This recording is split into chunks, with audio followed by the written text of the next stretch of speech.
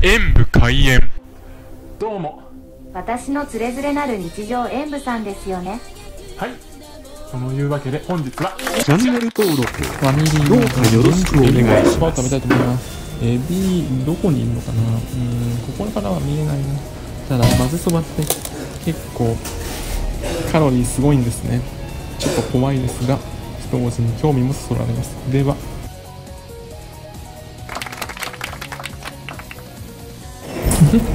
混ぜ終わりました。では、いただきます。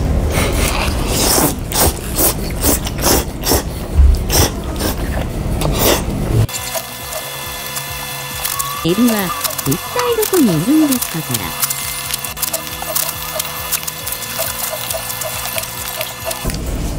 まず揚げた瞬間も結構海苔の香りがあって麺をすすってみるともっちりとした歯ごたえのある麺と程よくスープやマヨネーズがうまく絡んでそこに具材も食感も入っていてとっても美味しかったですがちょっとエビがどっか行ってしまっているような感がありますね。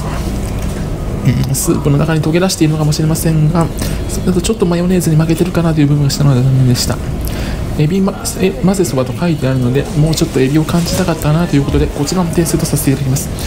温かい麺としては美味しかったですよ。ご視聴ありがとうございました。コメントしていただけると嬉しいです。演武平面。